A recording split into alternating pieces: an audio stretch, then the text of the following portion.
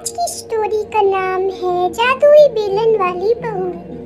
यह कहानी एक छोटे से गाँव की है, जहाँ पे बड़ा ही खुशहाल परिवार निवास करता था।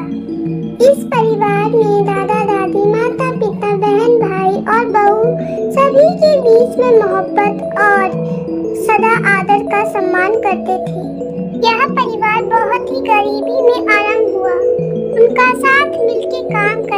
और संघर्ष करने का जज्बा, उनकी आर्थिक स्थिति को आगे बढ़ा दिया। बहू, जिसका नाम गीता था, वह बहुत ही सामाजिक और साहसी महिला थी। वह सदैव अपने परिवार के साथ मिलकर काम करती थी और उनका साथ देती थी। बहुत दिनों तक वे घरों के कामों में लगी रहती थी और वह बड़ी ही संतुष्टि से ये समय बिताती थी। एक दिन बहू बाज़ार जाने की सोच रही थी, क्योंकि नए कपड़े और कुछ सामग्री लानी थी। वह अपनी इच्छाओं को पूरा करने के लिए अपने पति से अनुमति लेती थी।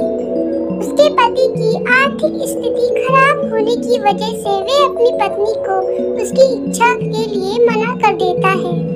बहू जो अपने संबंधों के साथ रह के हर समस्या का समाधान ढूंढती थी। क्या बहू इस समस्या का समाधान ढूंढ सकती है। बहू के दिमाग में एक विचार आया। वह एक जादुई बेलन प्राप्त करके अपनी इच्छाओं को पूरा कर सकती है। बहू ने अपने दिमाग की कमज़ोरी को नकारते हुए वह अपने पति के साथ मार्केट चली जाती है, जहाँ एक पुराने साधु बाबा नामक व्यक्ति पहुँचे हुए थे। बहू ने जादुई बेलन के बारे में बाबा को सुनाया और उसे प्राप्त करने के लिए उनसे मदद मांगी। बाबा ने बहू से कुछ आवश्यक उपाय करने के बाद उन्हें जादुई बेलन दिया। फिर उसका उपयोग कैसे करते हैं वो सिखाया। बहू खुश होकर घर लौटी और जादुई बेलन का उपयोग किया। बहू का जादुई बेलन सभी के लिए बहुत ही अच्छी चीज़ साबित हुई। अब वे जो भी चाहे वो बेलन से प्राप्त कर सकती थी, साथ ही वे समाज के लिए भी उपयोग करती थी।